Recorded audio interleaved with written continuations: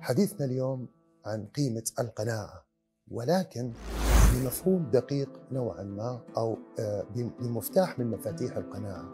القناعة الذاتية أو قناعة الإنسان بذاته الداخلية. كيف أنا مثلا آه، صوتي ما ما أحب أسمعه؟ جميل. أو أنا كاره لصوتي وممكن غيري يقتنع بصوتي.